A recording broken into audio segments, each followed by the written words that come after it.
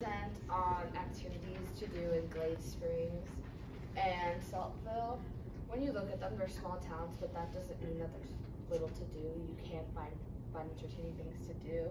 And they're located along the gorgeous Blue Ridge Mountains. So there's lakes, forests, and there's a lot of history that happened here. So to start off the morning, we're actually going to start at the neighboring town, Abingdon. Break- I chose to go to breakfast at the Girl and the Raven. It's really good. They have really good coffee and breakfast.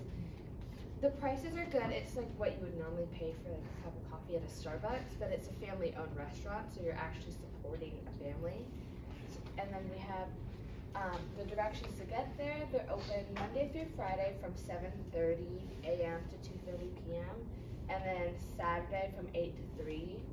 So it's an early. There's no dinner, so like early lunch or early dinner and like breakfast. And then for the afternoon, we're gonna go to the Museum of the Middle Appalachian in Saltville, which has a lot of different expositions from the early um, like ice age all the way up until when men actually step onto the moon. I want to say five dollars to get in, so it's pretty reasonable, and it's a fun experience. And then after, um, to eat lunch at Sarah Jean's Eatery, which is again family owned.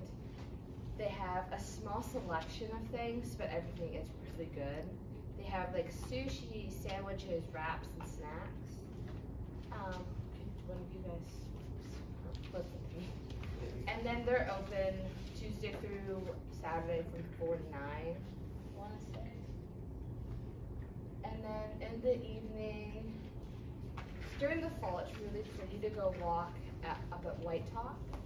So I thought that would be a fun way to like close off the day, since it is only a day trip for like college students around the area. Um, you can drive all the way up to the summit and then walk around and see really pretty views. I think it looks down towards Damascus if you look over like the ledge, kind of. Um, just a really cool way to finish off the day. And then here we have like more prices and actual directions to each place. So like the Girl and the Raven again, it's a family owned and it's ethically sourced. Um, they have really good coffee and American style food, so like pancakes and bacon. And a cup of coffee and like a latte is like five dollars, and then a breakfast is. And then the museum, a little more information. So there's 17 exhibits. Um, they have from the Ice Age, Native American, Civil War, and then just history thrown in. It's five dollars per adult, three dollars for seniors, and three dollars for children. And then Sarah Jean's again, it's family owned and operated.